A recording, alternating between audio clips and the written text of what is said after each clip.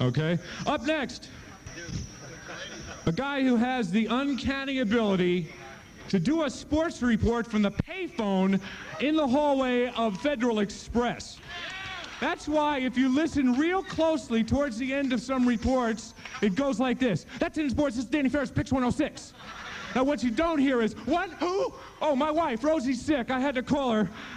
Bob and I, and everybody who know him, thank Dan- Harry Arroyo for that beautiful, beautiful right that sent him to the canvas and made him a sports broadcaster, Danny Ferris.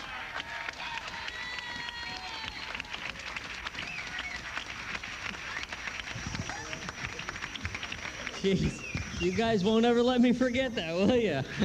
First it was Mouse Strauss, now it's Harry Arroyo. I don't know, for some reason I feel like I should be brought to you by McDonald's or something. I, you know? I just feel uncomfortable. You know, Syracuse won last night, Bobby. That only means one thing, but I'm going to leave them on today. the shorts on? I've got the shorts on, but...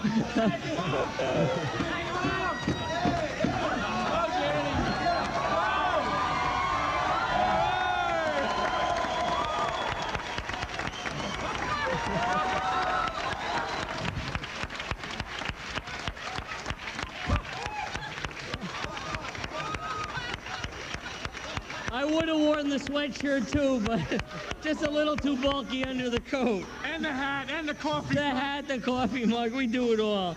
Get these damn things back. Uh, I'm a nervous wreck up here. You okay, Dan? Shit. Good. I can't keep this up here. This is terrible.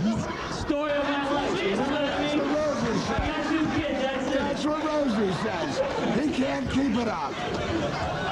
The last time I was this nervous before people was the Arroyo fight, and like I said, we all know what happened there. No, what happened? Second round, I think it was. I, I'm not too sure. I read about it in the paper the next day.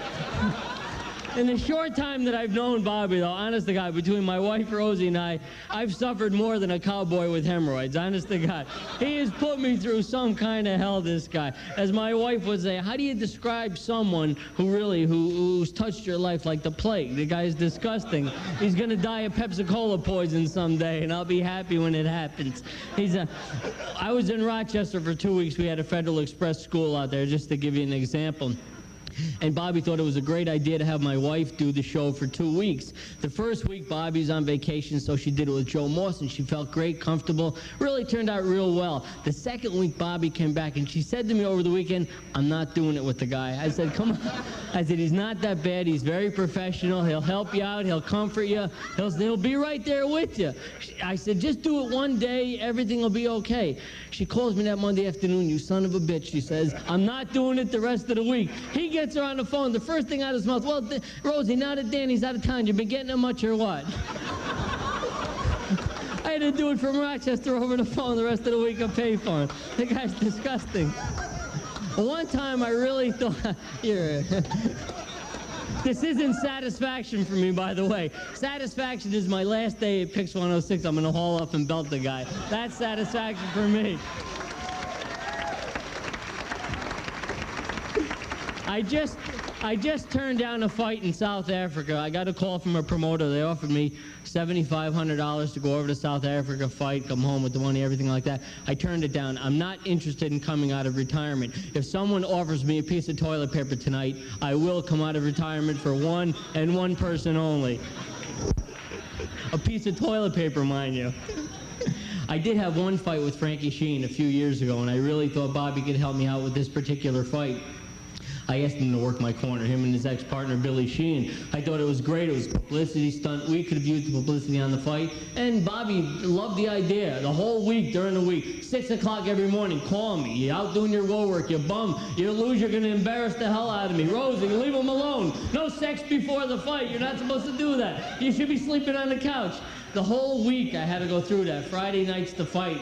I get to the fight and I got my black velvet trunks on, nice robe, and I got the Pix 106 logo on it, and I'm I was all excited. And I get into the arena and I wanted to go up and show Bobby my trunks. I was I was like a little kid. I was so excited. And I'm walking up to where Bobby was, and I had the commissioner Rich Herring with me. We got about 15 feet from Bobby, and I swear, guys, he slouched over a rail. He's got a drink in one hand, his belly's hanging over the rail, and we both just stopped and took a look at the guy.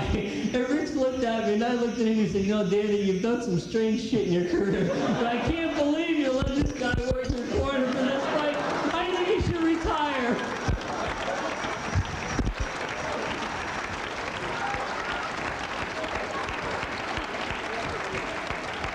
I was a wreck. I didn't know what to do.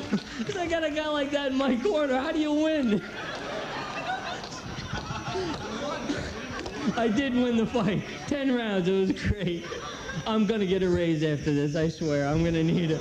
Bobby pulls a lot of weight around the station at Pix 106, and after looking under this cummerbund, he's got a lot of weight to pull. Bobby, thanks for being here. It was a great time.